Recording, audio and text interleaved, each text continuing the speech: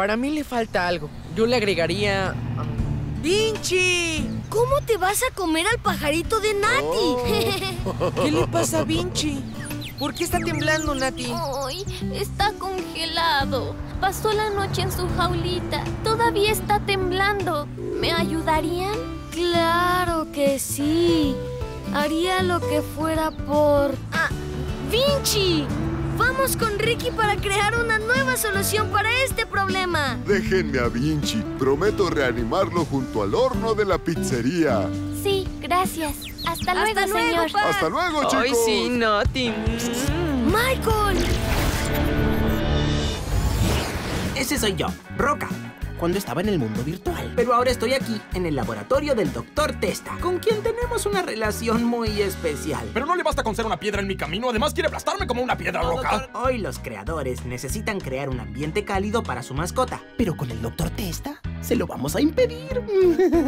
Tenemos que lograr calefaccionarle la jaulita a ese animalito. A ver qué dicen los libros. Estufa eléctrica.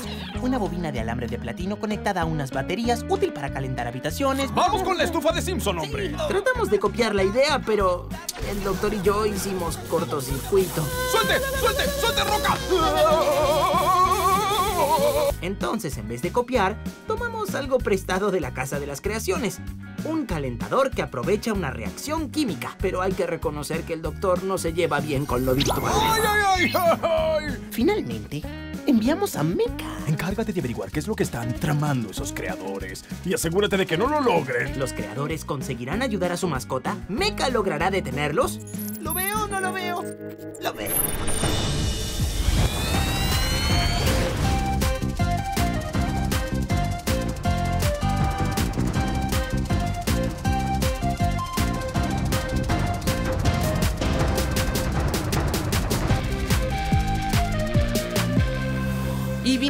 Corriendo a crear un modo de mantener a Vinci caliente en su jaulita. Un modo no contaminante, ¿verdad? Por supuesto, Nati. Los abrazos no son contaminantes y pueden darle calor, ¿no, Mati? ¿Por qué no le muestras a Nati cómo sería? Pero yo no puedo estar abrazando toda la noche a Vinci. Es muy chiquito. Puedo lastimarlo. A ver, chicos, cuéntenme. ¿Ustedes cómo viven los cambios de temperatura? Yo lo sufro mucho. Ante la mínima sensación de frío empiezo a estornudar. Hasta en verano duermo tapada.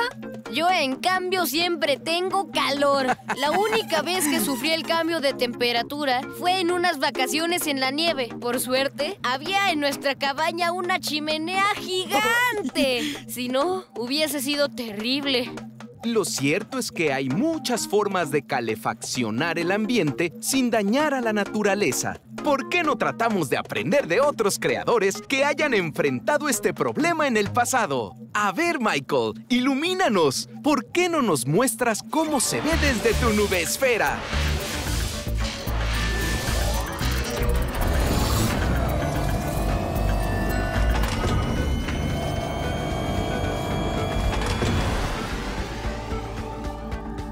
Al comenzar el siglo XVII en Inglaterra, un acaudalado escritor llamado Hugh Platt sugirió la posibilidad de calefaccionar todos los ambientes de un edificio de forma centralizada utilizando vapor. Poco después, otro soñador inglés, John Evelyn, ideó un sistema alternativo basado en la circulación de aire caliente. Pero haría falta un siglo entero y mucha inteligencia para que los pensamientos de Platt y Evelyn acabasen aplicados en la práctica. William Stroud fue un gran ingeniero nacido también en Inglaterra. Su padre, Jedediah Stroud, un poderoso empresario textil, fue uno de los grandes innovadores de la revolución industrial.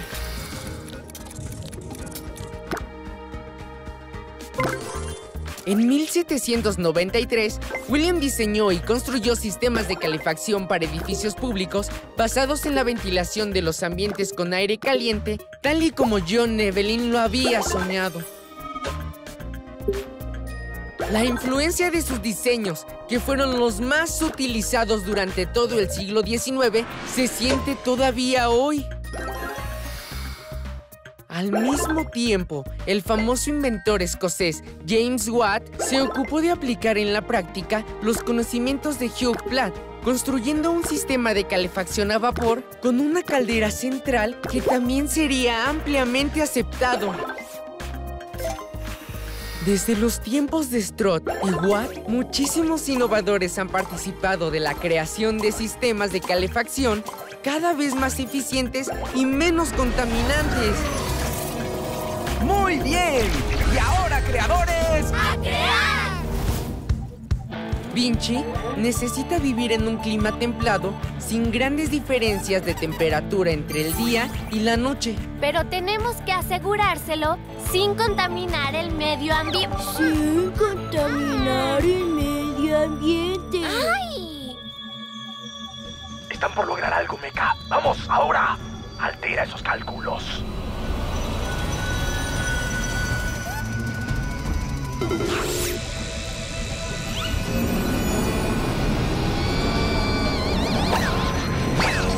A mí lo que no me queda claro es por qué tendríamos que construir algo distinto de lo que hicieron los Watto, los Struto, los Wuto, los Strato, como quiera que se llamen. Porque... mm, Sí, ya lo dijiste 50 veces. Necesitamos calefaccionar sin contaminar. ¿Qué se te ocurre, Mike? ¿A mí? Nada. Acá los genios son ellos. ¿Qué dices? Lo único que necesitas es activar el poder especial que consiste en creer en ti mismo. Bueno, tal vez en lugar de calentar el aire consumiendo combustibles, nosotros podamos aprovechar el calor que genera la química del propio cuerpo de Vinci. Es una excelente idea. Yo puedo diseñar una app que regule la temperatura. Así Vinci no se sofoca. ¡Si creemos que podemos! ¡Podemos crear! ¡Bien! ¡Gran idea! ¡Ay, qué divino Mike, ¿no? Ahora Vinci no tendrá frío. Sí, un divino total y muy discreto. Me hace recordar al supervisor Roca. Mike parecido al supervisor Roca. no son iguales. Oí que se dedica a la arqueología, especialmente a estudiar la edad de piedra. ¿Roca estudiando la edad de piedra? ¿Será una autobiografía? ¡Ya está casi listo!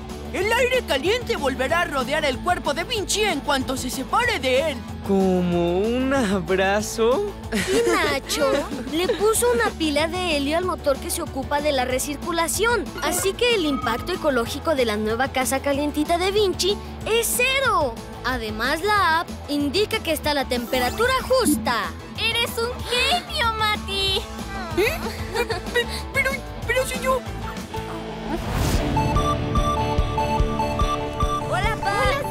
Hola. ¡Llegamos!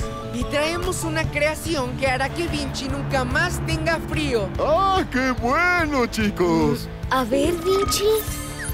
¡Listo! ¡Sí! ¡Ya está bien! Esta vez será una animal selfie. Sí, sí, sí.